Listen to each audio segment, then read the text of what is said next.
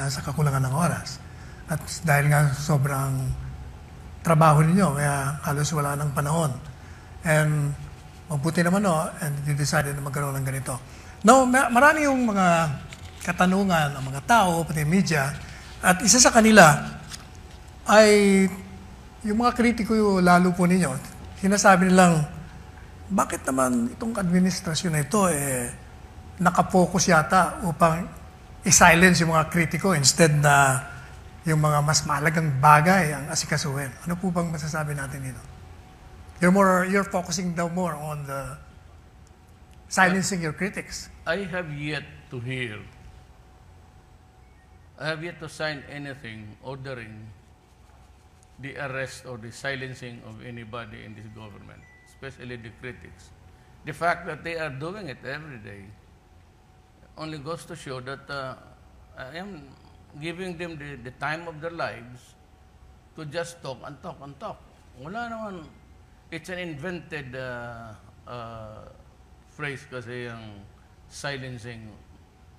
Eh, pati yung kay Dilima, the entire country knows that. He has a pending case, no bail, is being detained, and everywhere I go, seems to be that they were able to left, were able to uh, place the news in in in a wrong perspective that Dilima is being uh, detained and she is a prisoner of conscience. But of course, in lahat ng Pilipino, to us Filipinos, that's uh, that's crazy because uh, it's in court, it's being heard, and uh, she had had uh, uh, her days of uh, explaining it to the public. Aside from that, wala na. Yun naman kay Trillanes, there are just only two of them. May nakita kasi si uh, Soljan Kalida na mali. Uh, pagka mali, mali is mali. Hindi mo talaga makorek yan. And one of the glaring mistakes of uh, the Aquino administration was to extend uh, an amnesty. But the procedure was uh, totally wrong in the sense that uh, he just issued the proclamation, no particular names.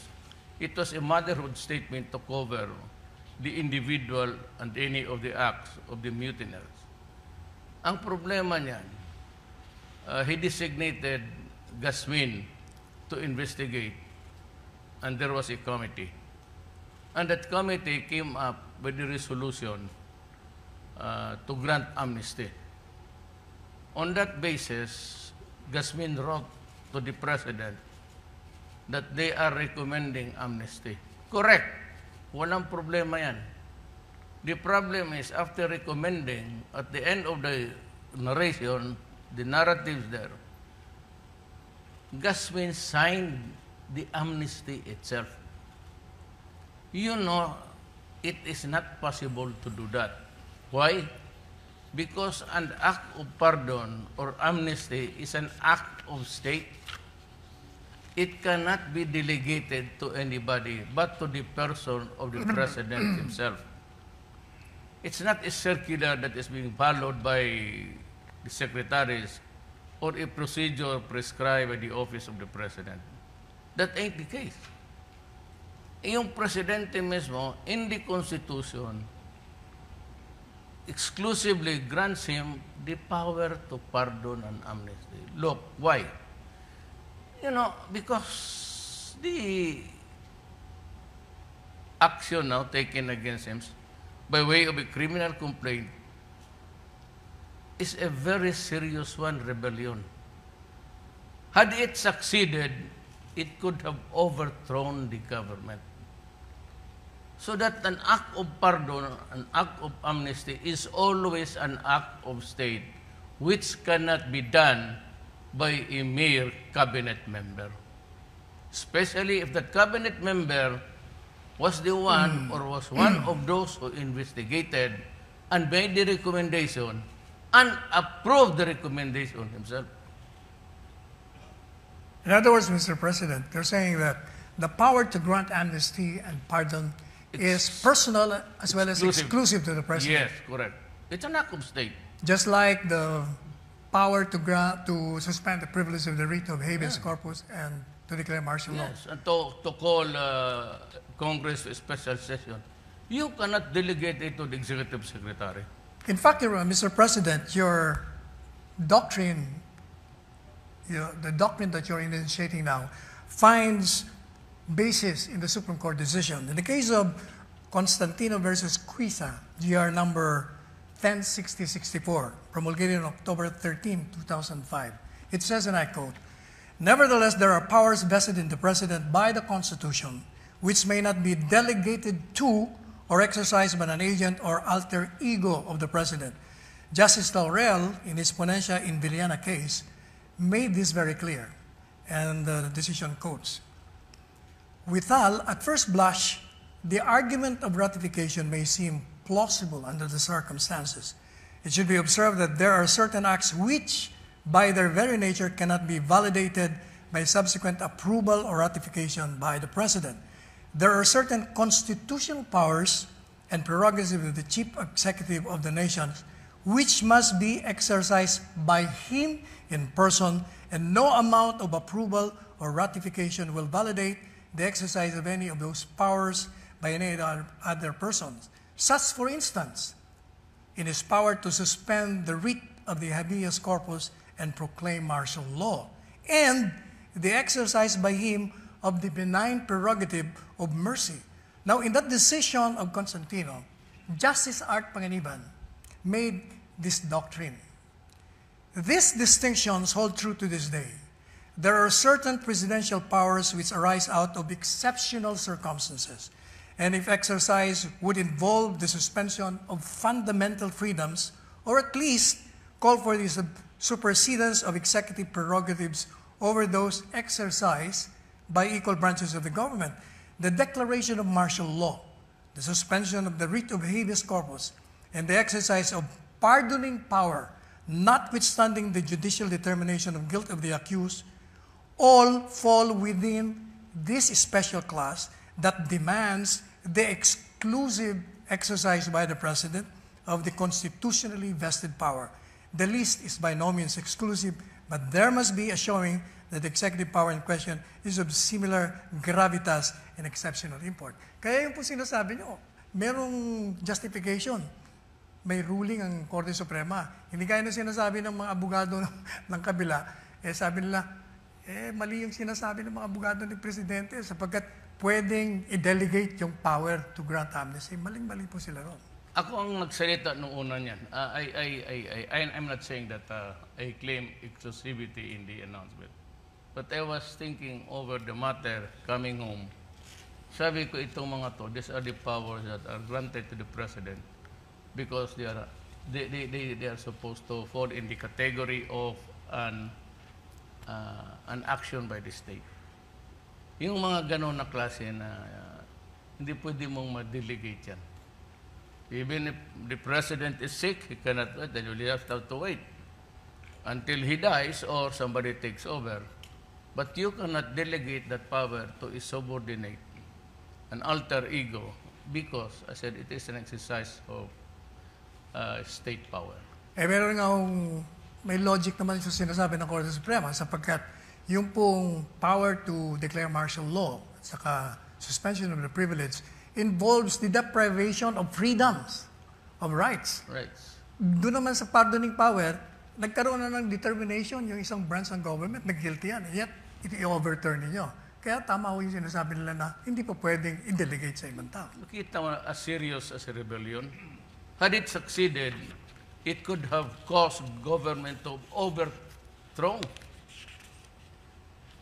They could have overthrown government. So that's a very serious thing of pardoning a person who is out to destroy government. So it is by no means just a, a mere infraction of the law. It is as serious as the existence of the government itself. So when you are called upon uh, to task and to answer for that, and if there's any pardoning or amnesty, may concurrence of Congress na. It could not be Gasmin concurring with Congress.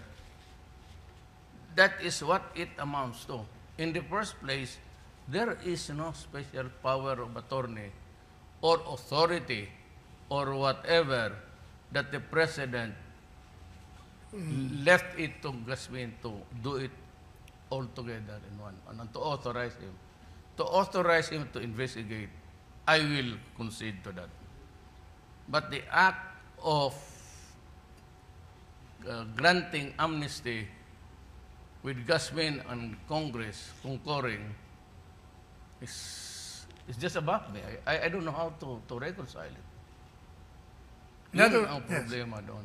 In other words, Mr. President, even assuming that Trillanes was compliant, compliant of the mandatory requirements of applying under oath, Wala na ako doon. wala pa rin doon sapagkat lumalabas ngayon na talagang nullity, complete nullity. I, I, I would uh, rise and fall on the proposition that only the president himself physically doing the pardoning and granting the amnesty. In other words, yung pong rason nyo ay more on legal grounds. Hindi gaya yung sinasabi ng kritiko na political daw yung naging dahilan. Constitutional uh, mandate.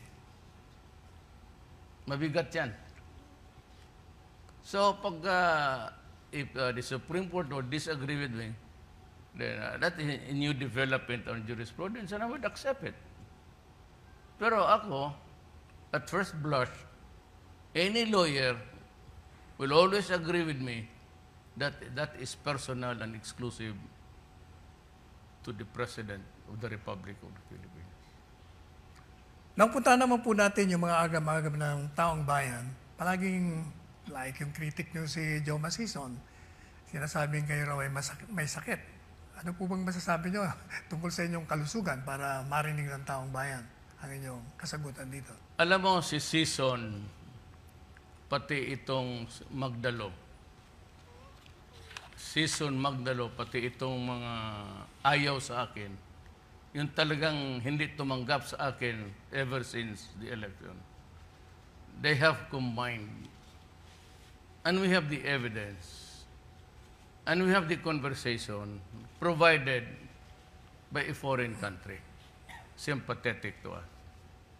We do not have that sophistication na but meron and the connection will be shown maybe uh, any day now. Uh, I ask that it be declassified at uh, ipakita nila sa lahat. Nahihigop lahat eh. Alam nila yan. Nahihigop lahat. So they were in constant communication. So sa punto po ng kalusugan eh, talagang malusog na malusog kayo, gaya ng nakikita ngayon ng taong bayan. Now, pagdating naman po dun sa binabanggit nyong Joe Masison, meron kayong binanggit po kasi na parang merong sabwatan o conspiracy They are. doon sa tatlong grupo. They are. It might be a loose conspiracy, but they are into it. Sabay-sabay sila. Ang sinasabi ko lang sa sundalo sa Republika ng Pilipinas, just be careful. Just be careful na yung pagsagwatan ninyo dyan sa. Because not, uh, Magdalo is not uh, all in agreement, yung membership, to destabilize or overthrow the government. Ako naman, I have stated my clear, uh, my, said my clear stand on the matter. If the armed forces think that I am not competent, that I am not uh, uh, qualified to be sitting here as president, I have discussed this matter with them in a command conference. Bahala kayo. Inyo.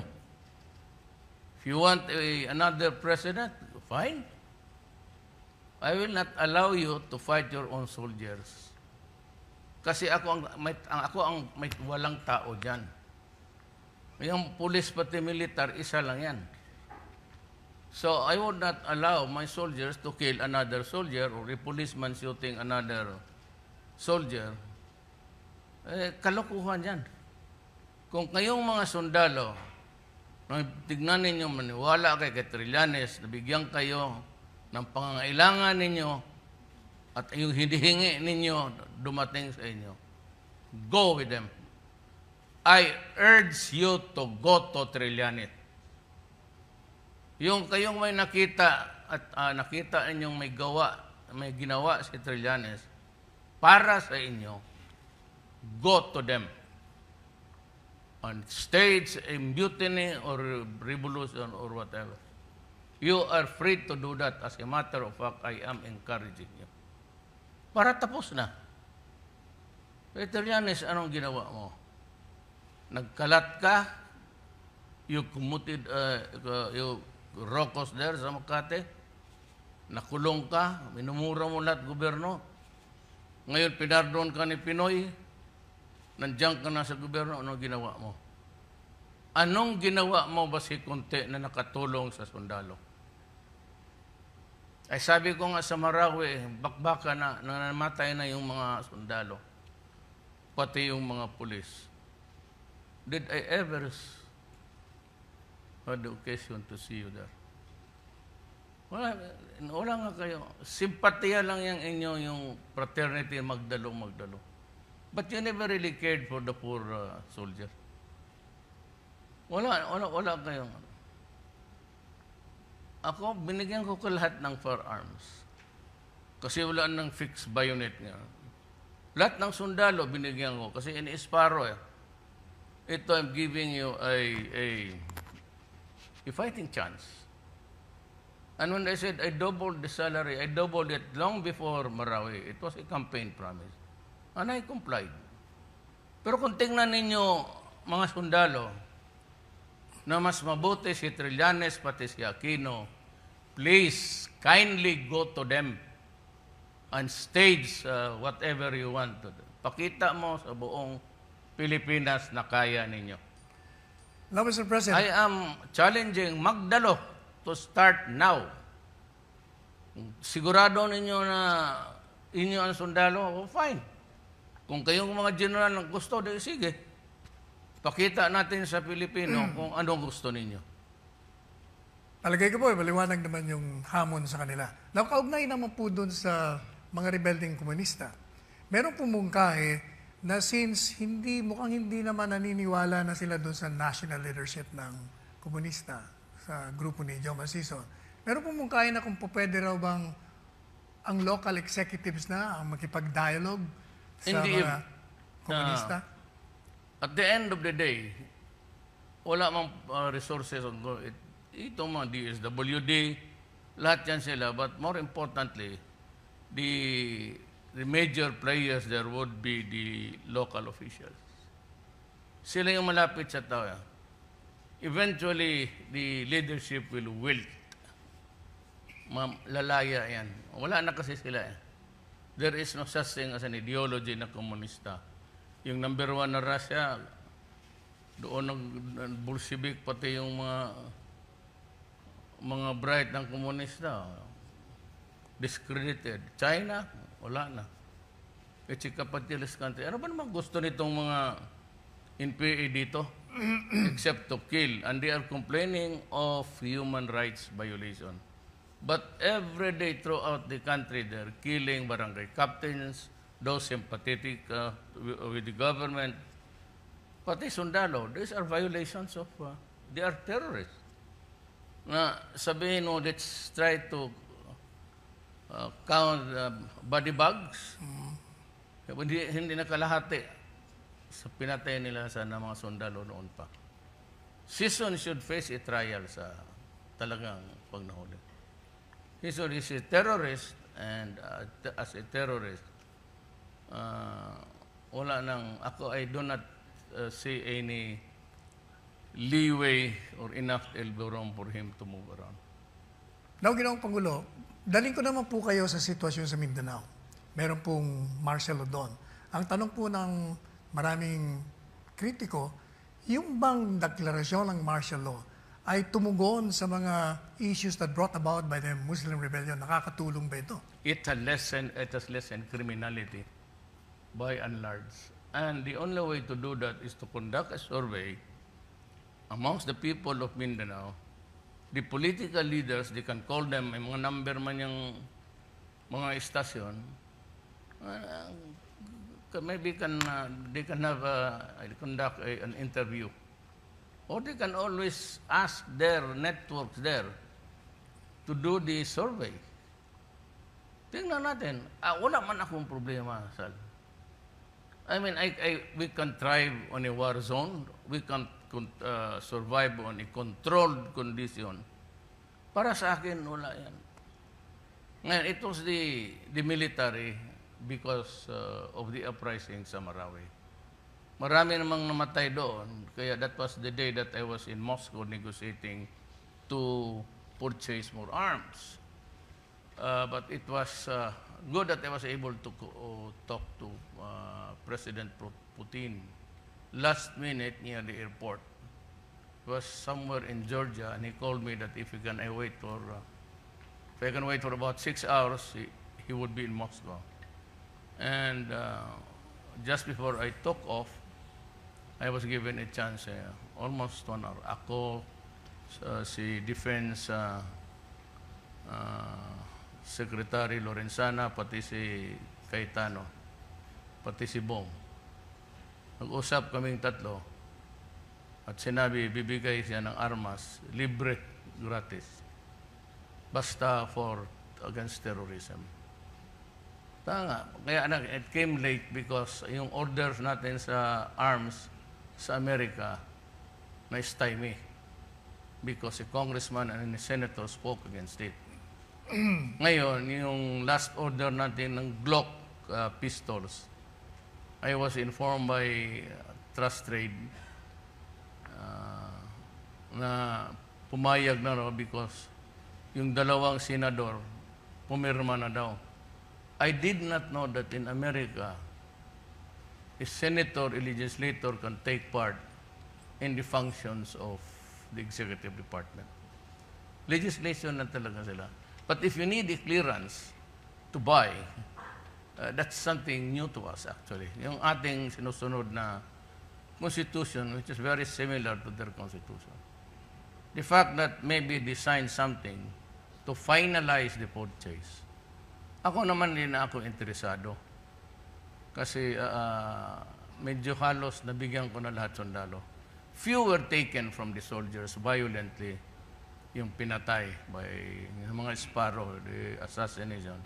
But by and large, uh, it could give them the confidence of going around with the gun. Alam mo, ang army kasi walang baril. Walang sidearm. So they go out naked. And I did not like it. Kasi pinagpapatay yung mga sundalo ko parang aso. So sabi ko, this cannot go on. You have to go out, just watch for the sparrow at your back, but use it to kill if you have to kill them. Now, Mr. President, may mga nakausap akong mga negosyante, mamamayan sa Marawi, sa Mindanao. At sinasabi po nila na mas kalmado sila ngayon na merong batas militar sa aire kesa noon. Eh, ang tanong ko po, to your personal knowledge, meron na po bang mga reklamo laban sa abuso ng militar? And not, I don't know. Yung mga checkpoint, checkpoint. But you know, uh, those are my orders. Na yung plain view, but if you are a suspect, you have to go down. Yung ordinaryong mamamayan ng daan, hindi naman kailang kalkalin mo lahat eh. But those who are suspected of transporting or uh, traveling, escape, or are in the wanted list of the government, they have to go down. And that is my order and I take full responsibility of it. Otherwise, walang, walang ngipin itong Marcelo. Yung pong sa Marawi, nasupil natin yung ISIS noon, terrorist group na yon. Pero kung meron hubang pagkakataon na umatake na naman sila, gano'ng kahanda ang pamahalaan upang sugpuin ito? Well, we are not without limits actually, Sal. The, we cannot guard even the, the longest uh, coastline. Eh, coastline yan per, per island kung bilangin mo yan. So it's the Philippines is very porous. From the Pacific or from the Sulu Sea down to China Sea, tapos paiko dito sa Taiwan. It's a really a vulnerable uh, uh, alley there. It's a corridor with the, with the can, yung Siabo, pati yung armas. Ang my only lament there is that uh, there was this uh, importer who who ordered uh, EMS uh, no, AK-74. That is a 5.56. You can use the NATO, ang sabi nila Armalite, 5.56, in the hands of uh, plenty of uh, AK-74s. And it added power to the communist. I, I would like to see this person prosecuted, not only for uh, aiding the enemy, giving assistance, but uh, it's an outright uh, conspiracy. Now, yung pong Bangsamoro Basic Law, matagal na ito'y mm, pinaglaban ng mga advo- advocates dito at ito'y natuloy na napirmahan nyo. Eh, ang tanong po ba, ito po ba ay makakabigay talaga ng solusyon? Sapagkat sinasabi ng mga ibang kritiko at mga taga ron din, eh, na ito'y hindi magbibigay solusyon. Anong palagay nyo rito? Well, it will not satisfy all Mindanaoans, and for those who are fighting, uh, uh, which uh, correctly declaim as historical injustice, which is really true. They were the first Adam and Eve there. Problem is, uh, this uh, Bangsamoro law must pass, because if not, it would again create uh, uh, trouble there. Uh, it could be an irritation, it could be anger, it could be a, be a way of just uh, terminating all peace talks and going to war. Uh, marami tayo doon. We have the uh, original insurgents, revolutionaries of the Bang, of the Moro in Mindanao, which is purely territorial. Yung nawala ng lupa nila with the uh, inroads and coming of civilization in Mindanao. Now, yun ang isa. Uh, the other is the insurgents who have become true blue, full-blooded revolutionaries. This time, it is not a question of territory anymore. It's a question of an Islamic world. Yan ang mahirap. And until now, they are massing nung nakaalis na. They are losing, they are being pounded heavily in the Middle East. And, and they are looking for another uh, uh, headquarters. It could not be in Indonesia because uh, uh, fundamentally, puro man sila mo. They, there could be some uh, skirmishes. It could not be Indonesia, Malaysia, kasi puro Muslim yan sila, and uh, Brunei. The ideal uh, area would really be Mindanao. There's a mixed crowd there. I think the Christians are predominant in number. So, if you want to kill infidels, as they proudly claim, uh, an infidel is one who is not a Muslim. I hope that they would not, uh, you know, uh, insist on that uh, bankrupt and hollow ideology because it could be a reason for a communal war, a blood bloodbath. Mr. President, meron pong mga lehitimong concern yung mga nasasakop ng bangsa Moro Basic Law. Gaya nila Nur Miswari, si Governor Sakurtan, sinasabi po nila na ayaw nilang masakop doon sa grupo ng nasasakupan ng batas na yon. Eh, ano pong magiging solusyon ng ating Pangulo There are areas of claimed by the Bangsamoro and incorporated in the law. Uh, for example, uh, ang Basilan, then you have uh, uh, Lanao, but Lanao, the no- north is also included. Simply, uh, Governor de Mapuro does not want it. He wants just uh, the present situation to continue. So, there's a stalemate there. And of course, Miswari, until now, has really hung on to his uh, horses. So, he's just waiting for the right, the most opportune time to talk to me, and if not possible, then uh, he can have his options. Hindi ko mapigilan. But in the meantime, I am talking with Ms. Wari. And because he's a man of his uh, word, uh, medyo kumpante pa ako ngayon. But there is always a time for reckoning. And they cannot wait forever. So somehow, someday, something has got to give. So that is how Mindanao is. Now, if we can talk to reason uh, to prevail over everybody, it would be something like uh, uh, we will just all agree, and if it's uh, uh, acceptable to the others, uh, we will create the Bangsamoro country and uh, incorporate it in the constitution as a, an autonomous region, maybe just like Hong Kong, China. Uh, give it more leeway, and of course, uh, ang the number one, alam mo, sa totoo lang, sino ba yung nagsabi legalize gambling? Mura ang bigas galing Sabah. Actually, kung hayaan mo lang ang ating authorities dyan, kung ang mga taga-basilan lang hulo sa Zamboanga magbili ng bigas, sobra-sobra ang bigas kasi mura. So that's one option which I would like to talk about, not really to agree to it uh, entirely, but talk about uh, Sunny Dominguez, Pernia, and uh, I don't know kung nandito si DTI, na kung magbili sila ng bigas doon, if they, ala- if they are allowed, walang problema sa gutom. Talagang may, mamura ang bigas doon. But wala tayong ano, wala tayong, we don't get anything there.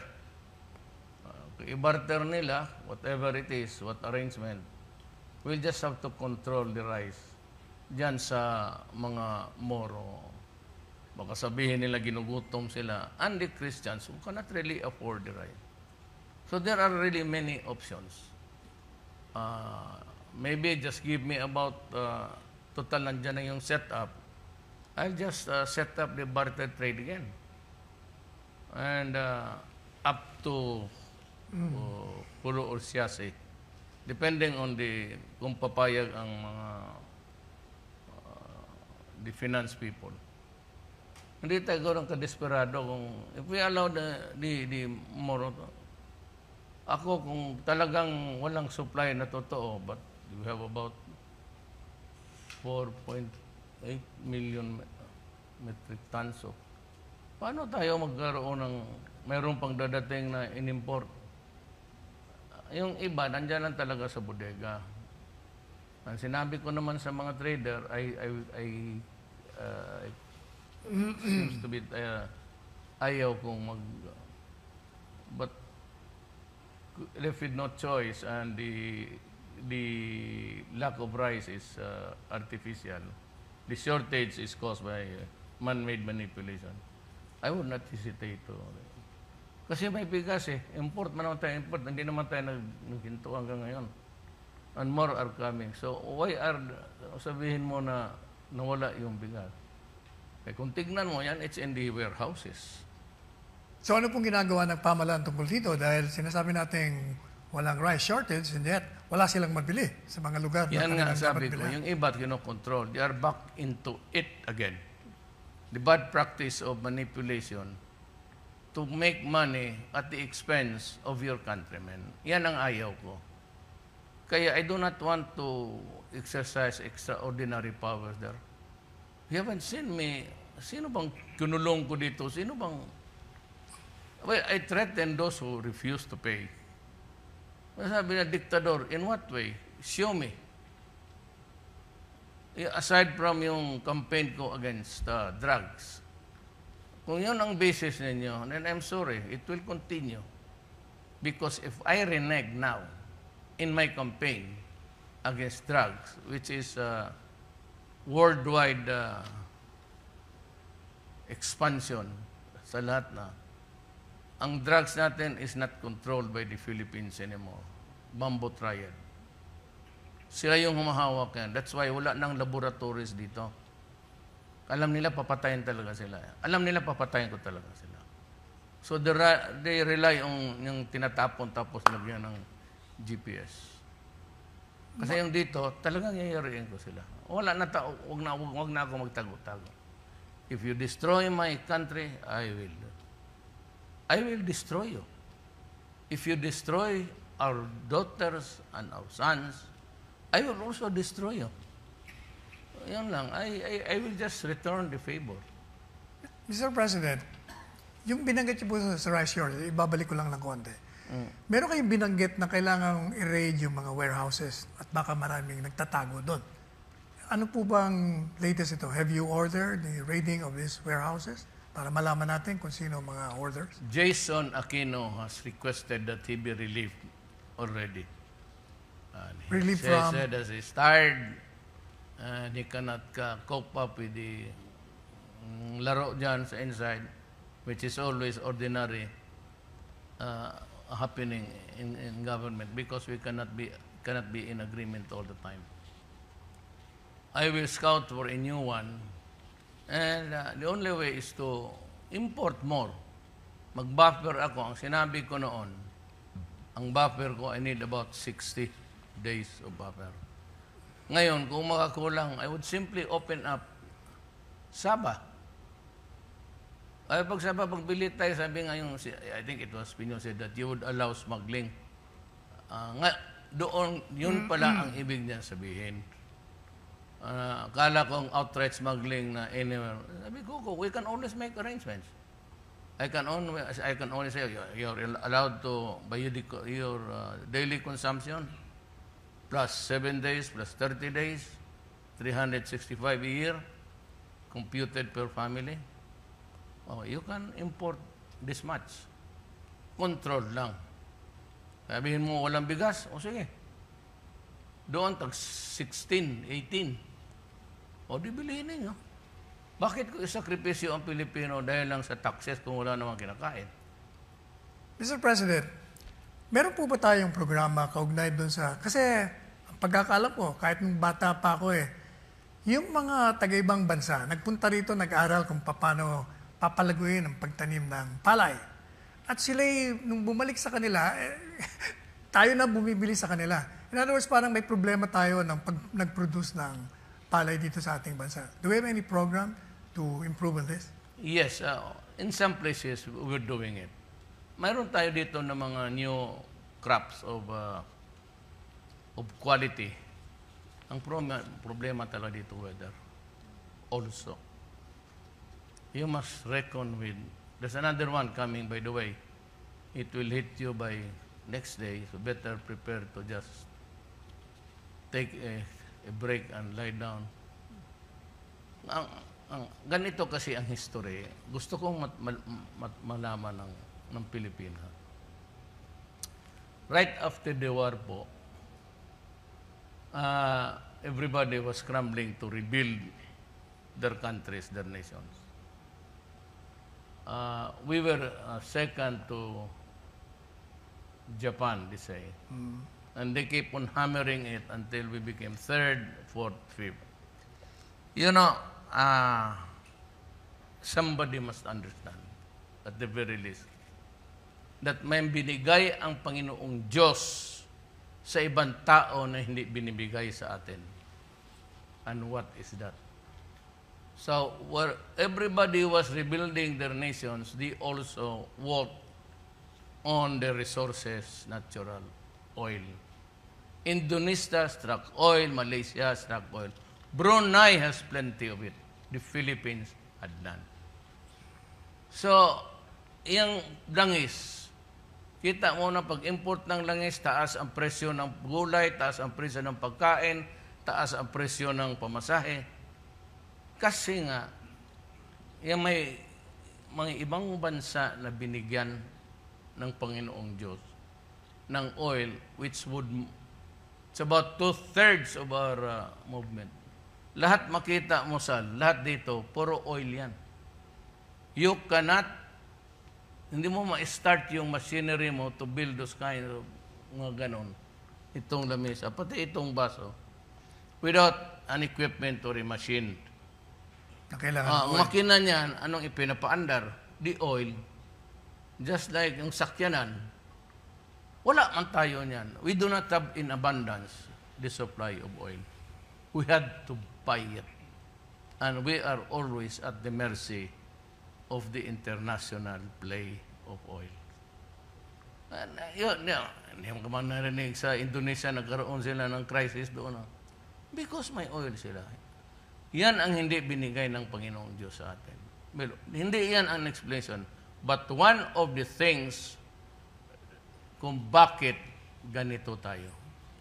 Kaya kung may oil lang tayo, hindi, hindi na tayo mag-import, magamit tayo ng oil natin, so it constitutes about how much pamasahe, pagkain.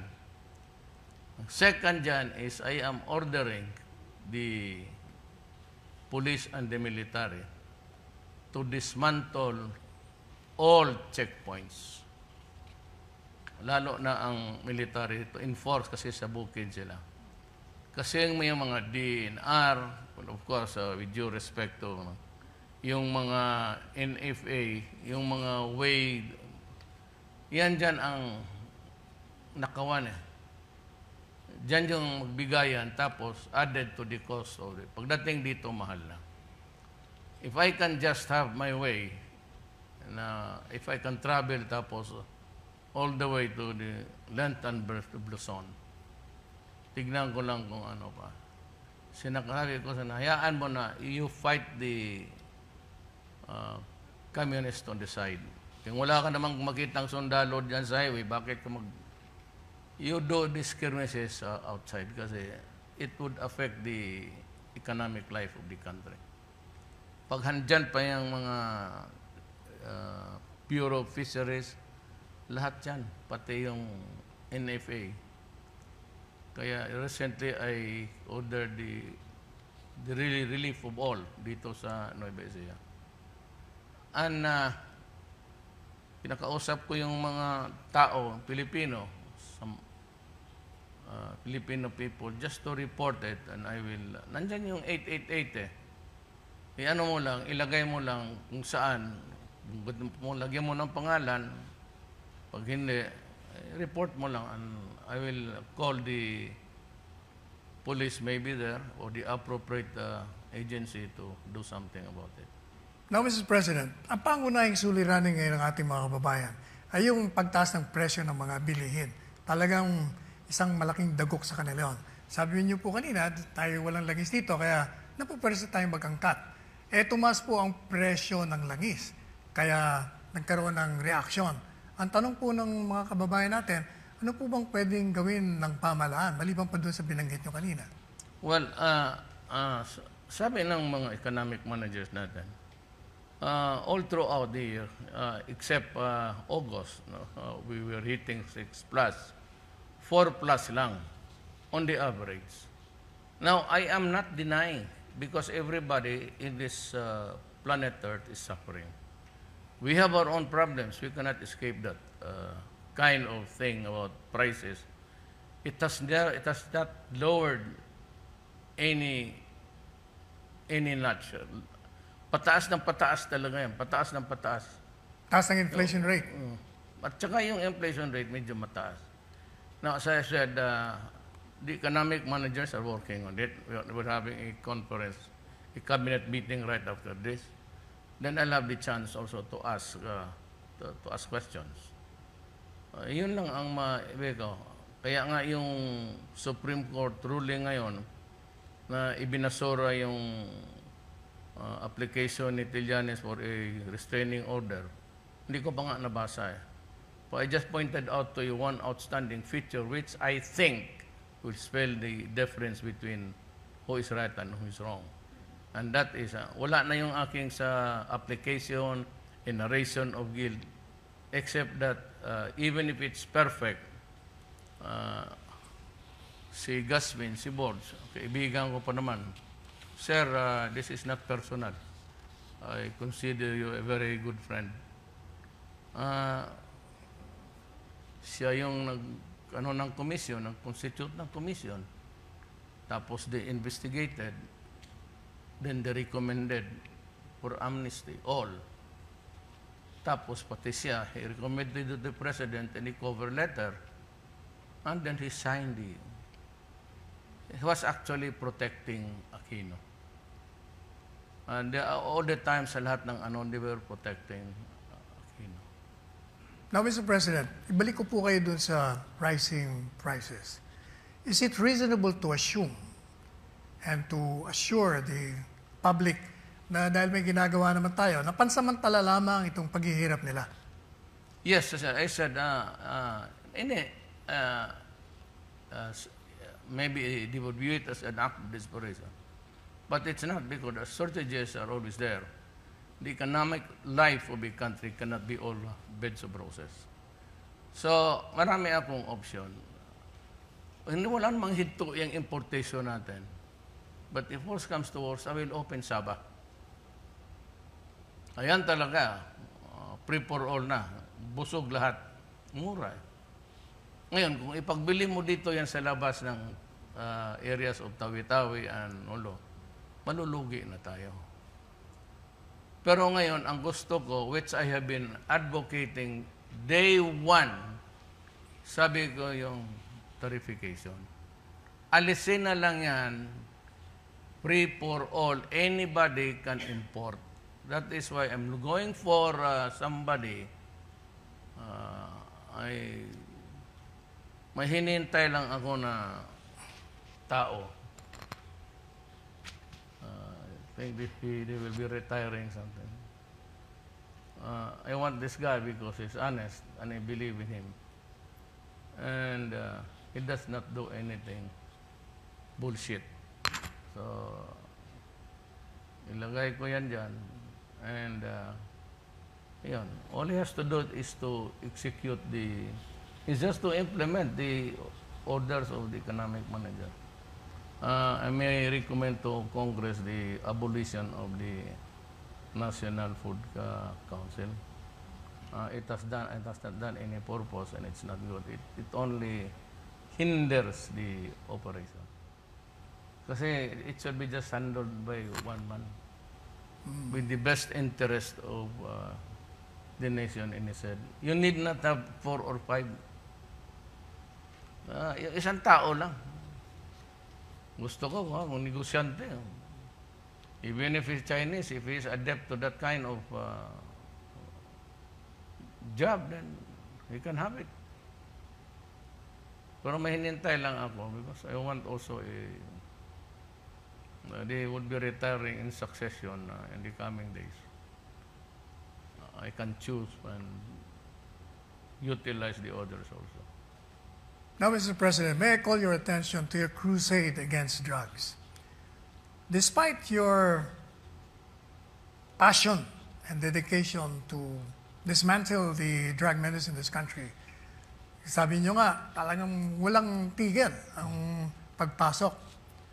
Eh, ang tanong po eh, ano bang pwedeng asahan ng gobyerno o ng tao kaugnay sa programa natin laban sa droga? Meron po ba tayong masasabing malapit na o talagang matagalan to hanggang matapos ang termino ninyo? Look, uh, drugs, uh, just like in America, historical yan. If America, the most powerful country in the world with all the equipments and uh, gadgets, uh, ha, la, they, they, they're able, they're, they're ready to raise their hands up. They cannot even, they cannot even control sa inyong lusa, we're just in the border. Tayo pa, di- we are, we are guarding the high seas and how do you how do you count the ships that you have? So it's really a hard fight. But because it is the lure of the money, the greed, they will continue. But just to tell you, somehow, ang law and order dito, lalo na yung sa petty, ano, the crimes in uh, on the streets is naglesen. As long as sunod lang yung police, walang tambay, wala na yung sabi na bahala na yung korte magsabi illegal. Uh, basta sabihin lang, if you have no business there, do not drink in the sidewalks because that is. And if you're just standing there drinking or sitting down or squatting, I will kick your ass. Yan yan. Tapos yung mga bata because they are the couriers. Just lessen the criminality in the streets uh, of Manila and other places. Eh pagdating naman po doon sa ang palaging pangalandakan, nangangalandakan ng mga sinatawag na human rights groups, na yung mga pulis natin ay inaabuso ang kanilang kapangyarihan sa paglaban sa droga. Ano po bang pwede nating sabihin sa Ang- kanila? Mayroon dito mga pulis na sa droga talaga. Yan ang problema. And that is the, really the headache also of Albayalde. So, sinabi ko naman na ano, pag nandiyan ka sa droga, ikaw yung mauna. And uh, true enough, we're doing it. Hindi ko lang masabi. But pagkatapos nito, sabihin ko kung sino. PIDEA, mayroon rin. The head of an agency somewhere in the south of Manila. So where are they now? So they're dead. Eh, sinabi ko sa inyo, huwag. Eh. Na lang tayo magbulahan. Kasi yung report na dumadating sa akin, galing man din sa inyo. But we would know, ang una talaga is the lifestyle. Hindi makahintay. Kapitan ka, then suddenly you have a big house, a subdivision, three cars, like Trillanes. Maraming bahay, sekreto lang, maraming. And ang problema kay Trillanes is that uh, he is uh, crucifying Bongo uh, for entering into business with government. And there was a time in the Navy's history. Kayong mga sundalo, believe mo kayo kayo ng Trillanes, di punta na kayo doon. Ang tatay niya nasa serbisyo pa. Ang siya nasa serbisyo na, sundalo na siya. Ang, nata- ang transaction karamihang supply sa Navy, ang nanay niya. Kung ayaw niyo maniwala, tanungin niyo yung Navy. Na kung yan ang mga gusto ninyo na leader, I said, go Tono Trillanes. If that is the kind of soldiers na gusto ninyo, sumampa na kayo doon. Kasi kung lahat kayo ganon, I will not sacrifice to serve the country na mayroon akong sundalo na ganon. Now, Mr. President, in relation to your fight against corruption, some time ago you expressed appreh- not apprehension but exasperation na parang yung korupsyon eh hindi matigil-tigil. Marami na kayong tinanggal sa miyembro pa ng kabinete na malapit sa inyo. Tinanggal nyo na kahit mga kamag-anak, mga fraternity brats. Pero parang hindi masawata ang agos ng korupsyon. Ang tanong po eh, ano kaya ang nagbibigay hadlang upang maging matagumpay ang iyong laban sa korupsyon? What what constraints? Well, the only way is nandito na ako. Maybe I have reached the limit also of my persona, hindi popularity. May persona hanggang dyan lang ako. So, yan ang masasabi ko nga. Itong noon, yung sa last command conference, I already had a copy doon sa AFP, ospital ng mga sundalo. Tapos binibigyan ko yan ng 50 million each. Ang AFP pa yung bilo na. Dalawang ospital yan eh. Para lang dyan sa medisina. At ang PGH, binigyan ko ng 100 million. That was the eternal complaint of the doctors there. Sabi ko, would 100 million suffice? Ang sabi nila, ano yan, Mayor? uh, buwan, uh, ano, taunan. Sabi ko, no. Siguro ang taunan was 36 uh, million. Sabi ko, every month para lahat na makatao makatikim ng gamot. Every month, tinawagan ko ang pagkor. Lahat ng kikita niya ibuhos niya dyan. Ang AFP binigyan ko ng 50 para sa mga retired. Yung dalawang ospital nila, tag 50-50 para doon sa nag-retire, yung medication. Right after Marawi, I released 500 million for intervention lang sa mga sugat nila, prosthetics.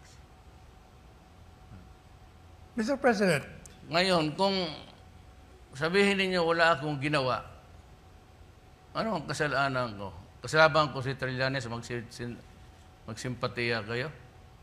Eh kung ganun, kung ganun kayo klase, doon kayo. Doon kayo. Sinabi ko naman sa inyo, just tell me. The major commanders can come here and we'll have coffee. And I'll say, sige. Inyo na. Gusto ninyo, inyo na. Then let us see how you do it.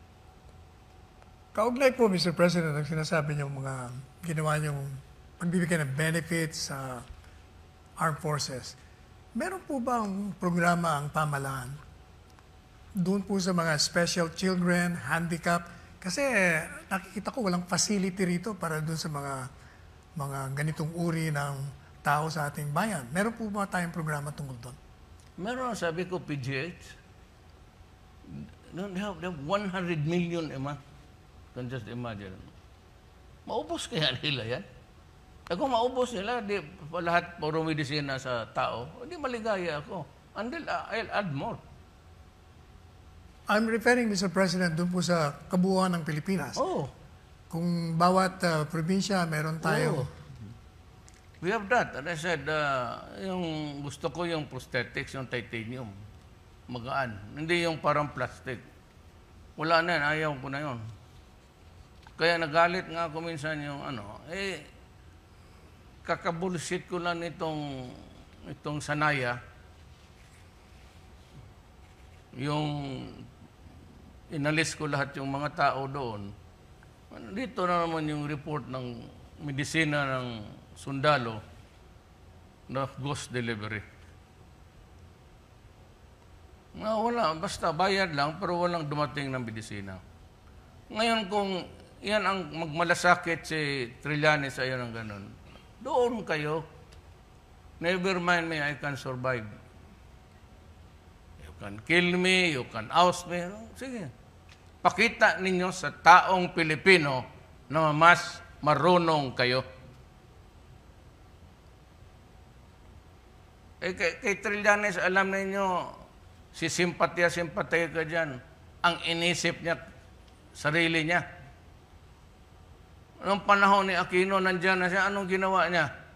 He traveled to China nine times. Yan nga ang ano ni Paildon eh. On his last visit, we lost the Scarborough Shore. Kinabukasan.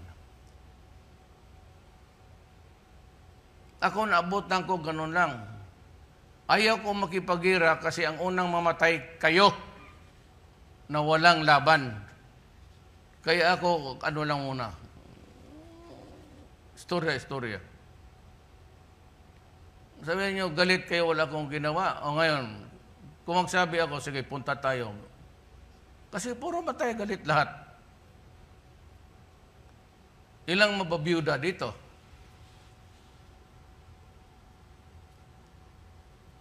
Kaya kayo pabilib dyan sa just because military, military, mista, mista. Alam mo, ang gumastos dyan, hindi mga mista ninyo, gumastos dyan, Pilipino. Uh, Magsimpatya-simpatya kayo. Hindi na kayo nahiya. Mr. President, yung relasyon natin sa China, kamakailan eh meron silang mga pahayag na mga medyo hot. May ayaw nilang yung mga eroplano natin lumilipad doon sa sa, Okay, sa nag- kanila. nag-away kami.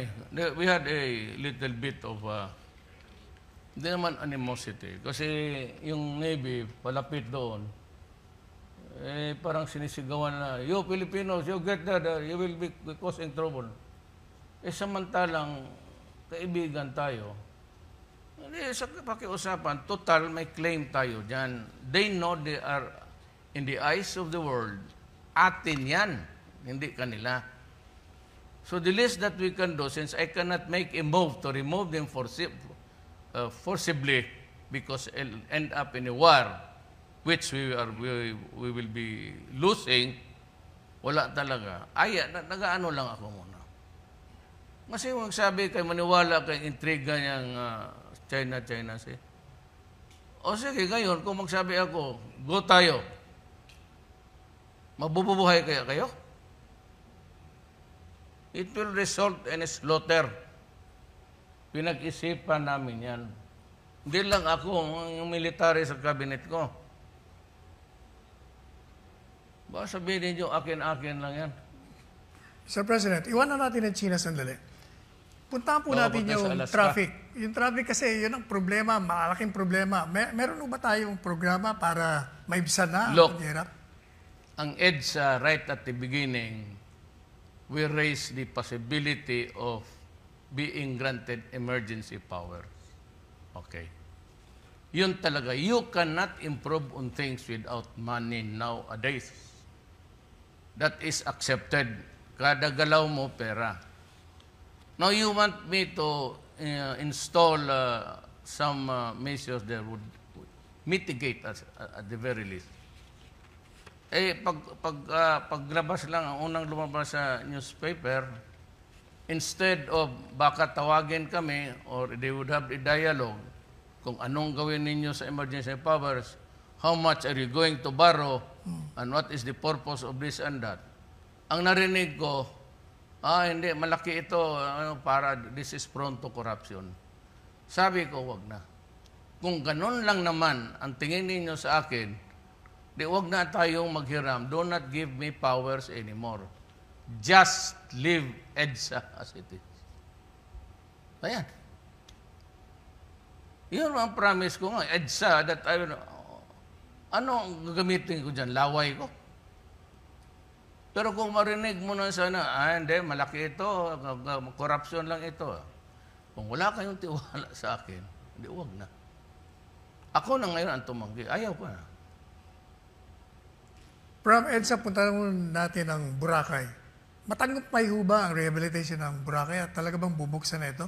I don't know. I will uh, wait for the recommendation of uh, the speculation that uh, there uh, there will be a soft opening or something like that. But uh, I leave it to Anyo, uh, si Mato, and uh, si sino itong sa tourism, si Berna. Sila naman mag-usap niyan. So, bahala na sila. They can vote on it.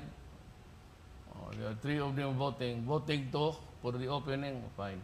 Ayun po, Mr. President, yung sa natural resources, yung sa mining natin, ano po bang you I express? have uh, ang mining kasi. Uh, may pera rin yan para sa gobyerno. But uh, one of these days, uh, uh, I would like to uh, maybe ask everybody to take a ride. And you can see the lot of parang tansan sa bukid. Puro butas. Naawa ako sa bayan ko. So, totoo lang.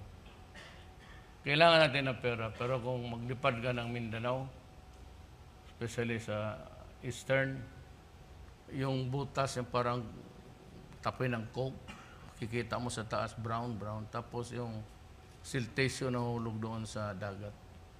So it killed the killed the marine life. Hanggang doon sa inabot ng siltation. Huling katanungan na lang po, Mr. President. Wag muna. Ah, wag- oh, okay, meron pa po isang katanungan. Dito sa, Meron, te, may pinasang papel dyan. Oh. eh, tigilan ko na raw eh. At may, meron pa cabinet meeting. Anyway, may, meron, Payag ka rin utusan kanila. meron, meron po akong katanungan ito'y naririnig natin sa mga taong key players o gustong maging key player, hindi mga pasok.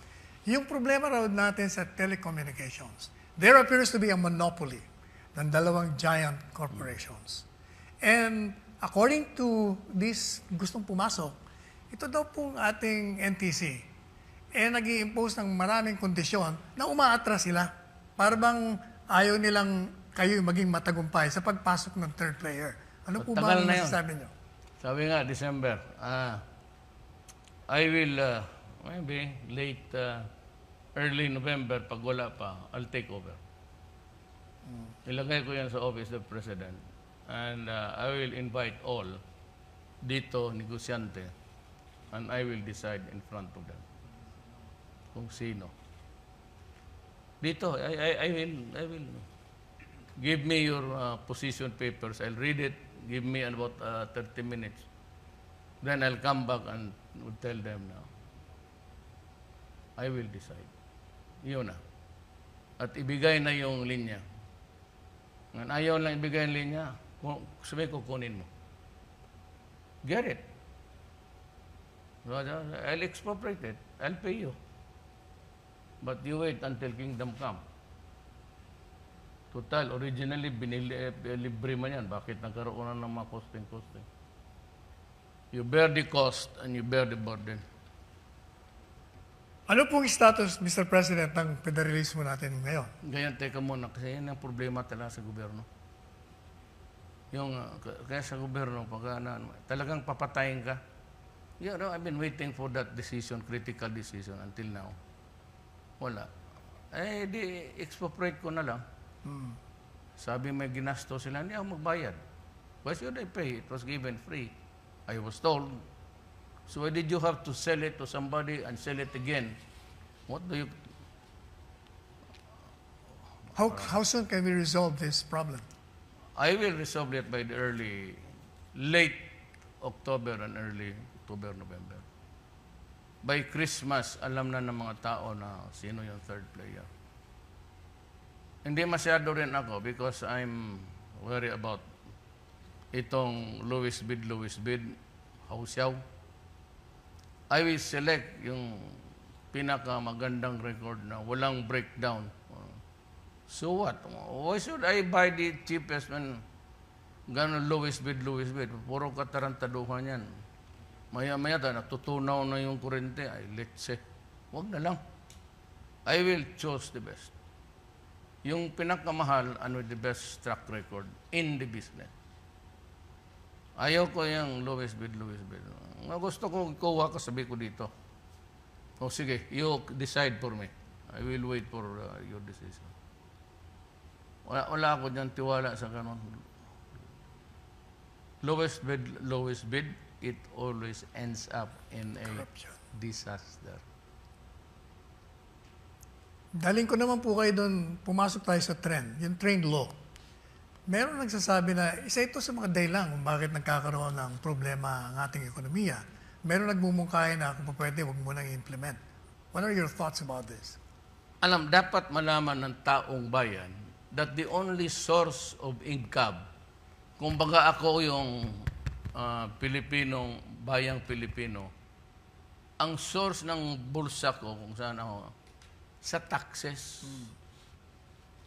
Yung buwis na kinukolekta ko. Hindi ako pwede dito sa central bank, utosan ko na mag-imprinta ka na mag-imprinta ng hanggang isang milyong sakong pera. Because tayo, kung ano ang, ang kayamanan ko, kung ako sabihin, ako ay may ikta, isang iktarya lang, puno ng durian, tapos puno ng mangustin, pagkatapos at the of the day, yan lang ang kikitain ko.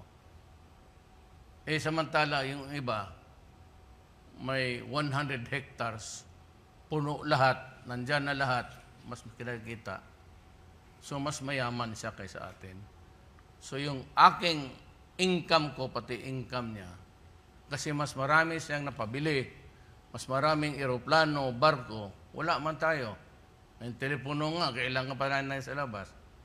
Hindi, gastos ng tayo gastos, wala naman tayong kinikita. Kasi ang pera natin yan lang. O yan. Ngayon, yung ekonomiya mo is, ilang pera ang maimprinta mo. Ang perang maimprinta mo, kung ako, ang negosyo ko, 50,000 lang.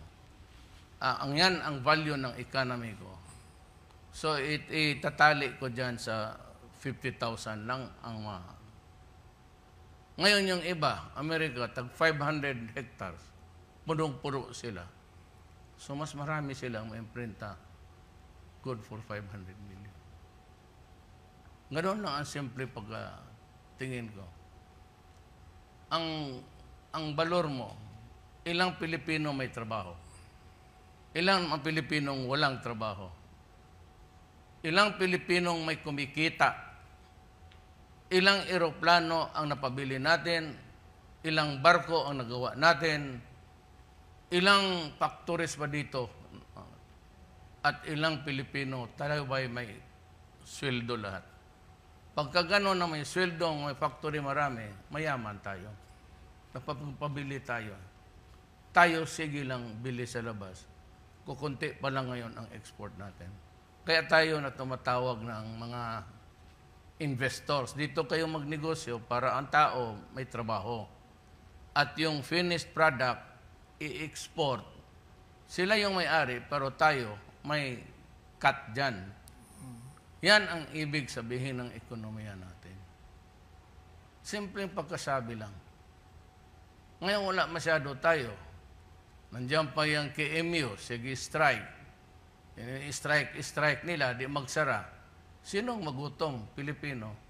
Kasi kayo nagpapadala ng... Ayaw ninyong humintay kasi alam ninyo walang pera. Walang negosyante ngayon magpapasok na after three months mag-strike kayo, malugi yung kapital niya. Kaya yung mga tao na yan, nagsibatan. Kasi sa China, walang strike. Wala lahat. Trabaho lang. Dito, marami, yung mga left, sinakyan ng mga komunista, hindi ninyo alam, kita mo dyan sa daan, ano ang purpose niya? Pangsira. Ayaw magtrabaho. Gusto magsali ng strike. Adi ako hanggang dyan lang. At pagdating ng araw, sa gabi sabihin ko, sinabi ko na sa inyo, eh, anong gusto ninyo? Hindi ako Diyos. Kailangan ito hirap ng lahat. Ngayon kung gusto ninyo maniwala dyan sa komunista, kasi alam mo naman ang komunista, gustong mag-take over sa gobyerno itong Malacanang. Yun dyan sila. Armed struggle. Pinapadaan sa armas. If that is what you want, magpatalo kayo dyan sa mga ganon, sasama-sama kayo, edi kayo. Total, pagdating ng panahon, ako may savings ako, kabili ako ng bigas. Kayo, di kausapin ninyong military, magkunsabo kayo ni season. Basta yung yellow na yan, may grupo dyan, nakadikit kay season. At si Trillanes may personal contact. Alam na ng military yan. Ayan ninyong mga, gusto ninyo, mayroong intelligence yan, every unit. Tanungin ninyo kung ano ang nangyayari. Bakit? Gusto lang mag-take over. Bakit? Bakit? Eh, sayo, mas gwapo daw siya. Di. Pero ang baba ng... Ano mga matutunan mo sa Sus Maria Josep? Nung nag-ano ka sana sa Wharton, magseminar, magseminar kagaya kay Rojas, bibili pa ako sa po. Yan lang ang level of thinking mo. At ako pumasa dahil sa tatay ko, Uy, loko-loko, hindi ka turpe. I became a lawyer 20 years after my father's death. Hindi kagaya mo, tatay mo na dyan serbisyo, ang nanay mo naganegosyo sa Navy. Dapat malaman yan.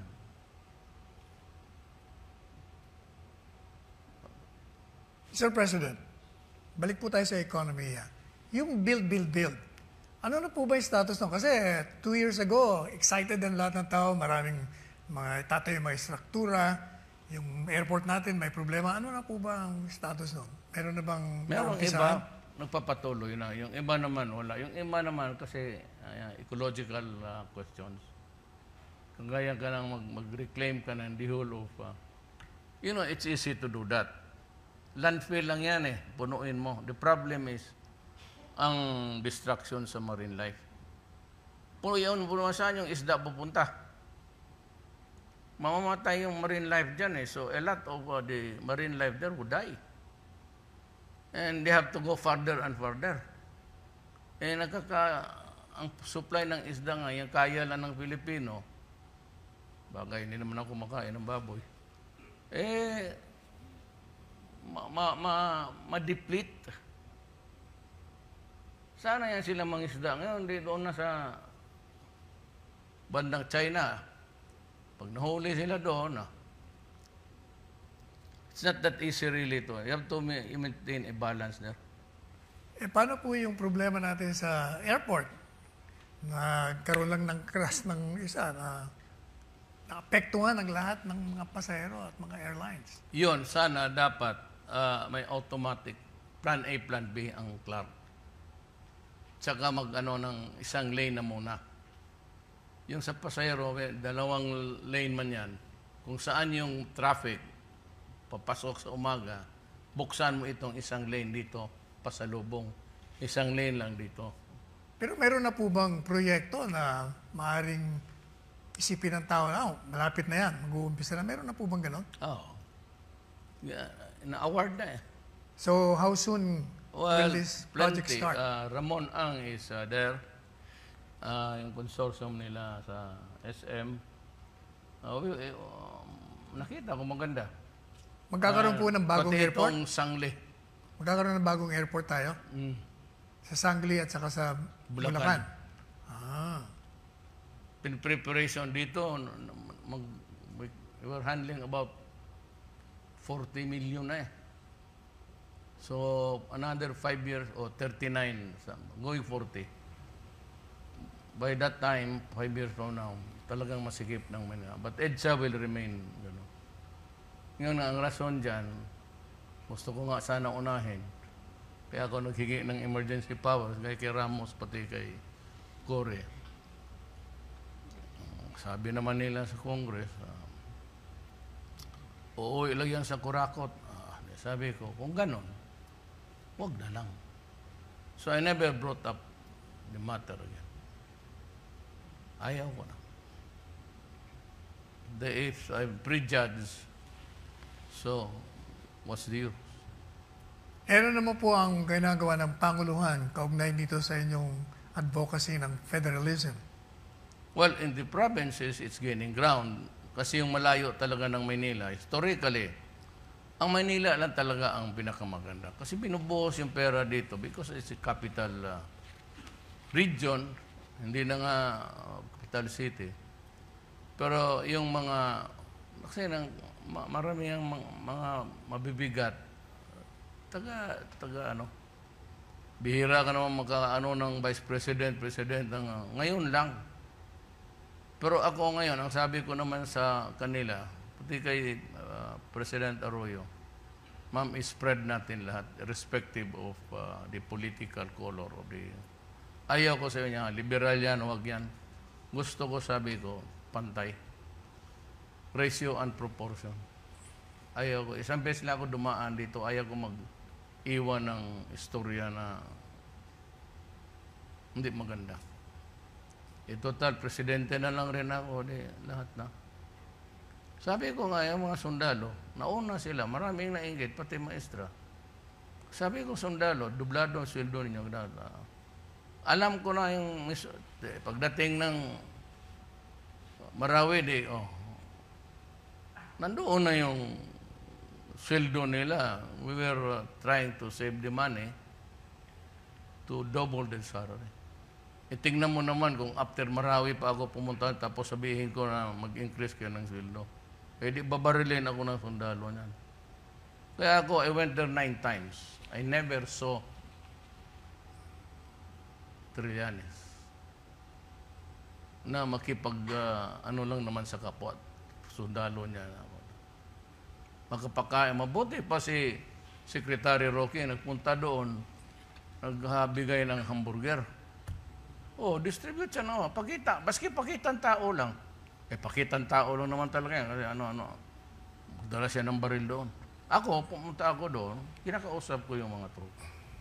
At hindi ako nagpapalakas. No? Al- ano mo bakit? Ngayon ko sa military.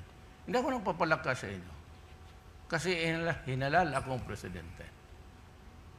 Ngayon, kayo may mandate kayo to protect the people and preserve the nation. Gusto niyo sirain yan, okay lang. Panahon ko, okay lang. Yung lahat na sundalo na hindi believe sa akin, edi doon kayo eh. Diyan mag, mm, ano kayo sa Luneta, mag, pagupit kayo lahat, papagong kayo. Mabuti. And that is a way of showing how you respect democracy. Now- you, dis, you disagree, you do it that way. Good. Mr. President, I remember during the campaign, meron kayong binanggit na you're for the amendment of the Constitution, whether by Constitutional Convention or Constituent Assembly. Para ho naantala yata. Parang wala na narinig ang tao. Ano ba nangyayari dito? It's pending. Ah, itong, ah, ah, well, there's a time for everything. I've been going around. I suppose that you cannot convince everybody at one time that uh, federalism is, is good for the country. It might help. It cannot guarantee prosperity kaagad. But it might help distribute the wealth of the nation amongst the local units who contribute to the national upkeep. Now, dalawang taon na po kayo at papunta na tayo sa pangatlong taon bilang Pangulo ng Bansa. Mari po bang ibahagi niyo sa amin kung meron kayong ano pang pagnanasa o desire o wish na makamit niyo upang maisagawa niyo ang lahat ng mga nasa sa isip niyo para sa interes ng bayan? Uh, three years left is uh, too short. Ngayon, ang gusto ko ngayon, kung yan na lang ang natira, ang naumpisa, na umpisahan, yun na lang ang tatapusin ko. And of course, itong discourse of drugs. I promise the people talagang tatapusin ko yan. Tatapusin ko yan. Maniwala ka. Meron na ko yan. meron naman ho ba kayong regret during the three years na nandiyan kayo Wala. po? Wala. Ah, Congress has, uh, well, not all but uh, appropriately uh, extended the help. Meron silang mga views na nirespeto ko. Ayaw na ibigay yung emergency powers. Gusto niya ayusin ang EDSA. Sabi ko, kung ang tingin niyo sa akin gano'n, wag na lang. Ayaw ko na rin. Ayaw ko na rin.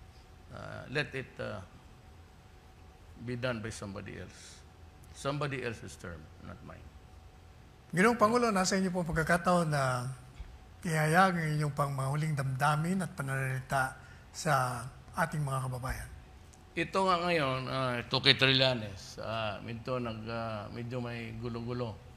Alam mo, si Trillanes lang naman, ah, diktador, wala man akong ginawa na nagpakulong ako ng tao. Matindi ako sa droga. You differentiate from a dictator, yung absolute power, at saka yung desire ko to protect your children and the country. Kaya sabi nila, diktador ako. Lahat naman yan, ang pulis naman ang inorderan kong gumawa. Ang sabi ko sa pulis, if your life is in danger, or if you yourself, the police or the soldier, are in danger of losing your life in the fight against drugs, kill them. Huwag ikaw. Manghinayang ako. At kung ikaw ang magkakaso, sinabi ko, sagot ko kayo as long as it is in the performance of your duty. Pag nagkakaso kayo, sinabi ko, ako ang bahala. You will have, you will have the same salary. I will see to it na kikita ka pa. May sweldo ka. Naalala ko Baski po tuloy. ka na. Naalala po tuloy, Mr. President, yung, yung sonnet speech nyo, nung nagdeklara kayo ng digmaan sa droga. I remember exactly what you said. Ang sabi nyo, those who will abuse their authority will have hell to pay because you are worse than criminality itself. Yun ang sabi ninyo. Lahat naman ng pulis na pumasok nung naabutan, patay man. Pedia, ganun rin. Hindi ko lang masabi dito kung sino. Pero malaman rin ninyo yan. Ng mga pedia na namatay, eh, sabi ko nga, kayo mauna yan. Putang ina kayo. Sabi ko, mauna kayo.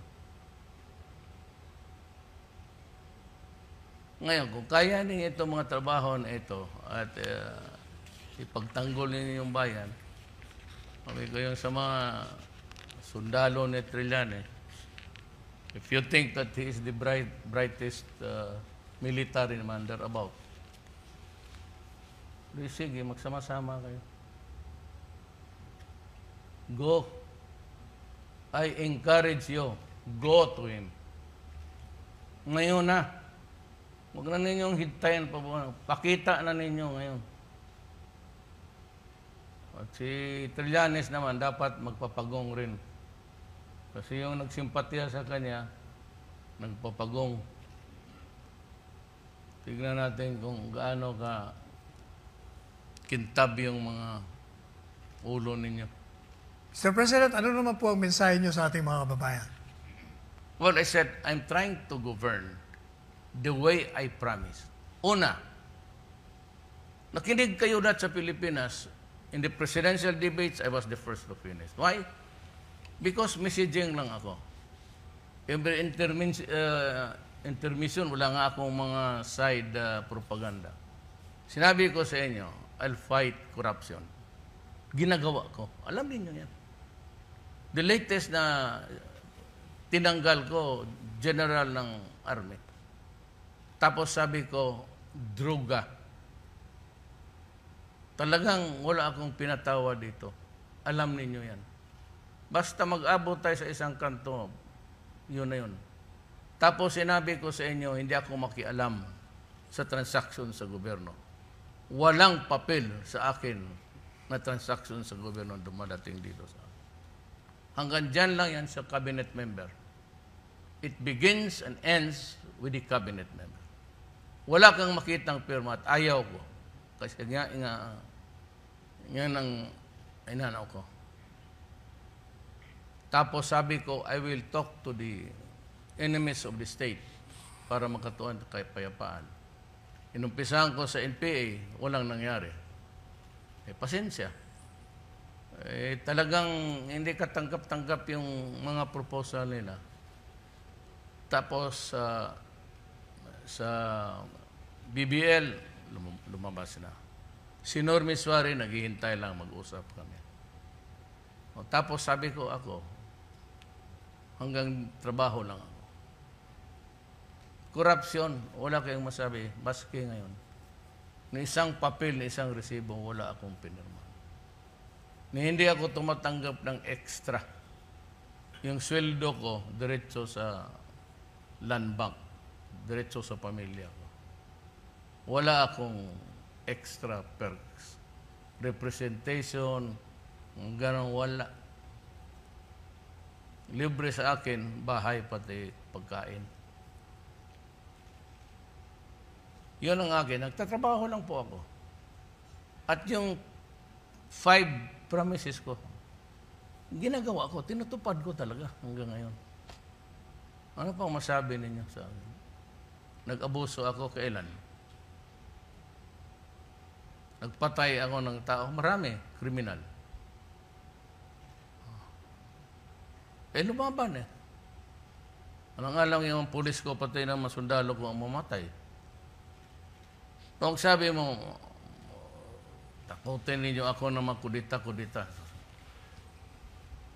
Alam na ninyo sa command conference, sinabi ko na sa inyo. Hindi ako kailangan pilitin. Kung ayaw na ninyo, at tingin ninyo yung babae, si Lenny, mas maganda, mas mahusay, edi tuloy ninyo eh. Sige. Hinahamon ko kayo. Talaga. Kasi sawa na ako yung takot-takot. Ayaw ko ng ganun. Gawin na ninyo para matapos na. Talo-talo, di wala. Tatalon ako dyan sa Pasig River. Lalangoy ako doon. Pauwi. Kung sabihin mo, takot-takutin mo ako. I am not. Di ba sinabi ko sa inyo, mga Pilipino, in this fight, itong lima, I'm willing to put at stake my life, my honor, and the presidency itself. Hindi ako nagsasalita ng gano'n. Kaya takot-takotin no, ang paggupit-paggupit dyan, Mario Joseph. Umpisahan na ninyo ngayon na. Huwag na ninyong patagalin. Eh, yung plano ninyo magsabotage, gano'n, sa May, September 21, eh di gawain ninyo eh. Kasi uh, wala no, sabi ng, ano na, yan, ang plano nila ngayon, kung hindi lang mandala sa paputok-paputok, ah, mag-assassinate. Ah, kaligaya ko na lang mamatay sa kamay ninyo. At least na hindi ma- ano, mamatay sa sakit. Ano ba naman yung bala? Hindi ka umabot ng isang segundo yung tiis mo dyan. O magkudita, di magkudita kayo. With that parting statement, Mr. President, papasalamat po ako sa inyo sa pagkakataon na binigay niyo upang kayo makapanayam. At ang taong bayan ay nagpapasalamat sa inyo rin sa pagbibigay daan ninyo rito upang makarating sa kanila ang inyong damdamin, ang inyong mga hinaing kung meron man, at ang inyong pasasalamat sa kanila. Marami Basta, po salamat. mag- basta mag-concert ka lang palagi. Eh. Salamat po, Mr. President.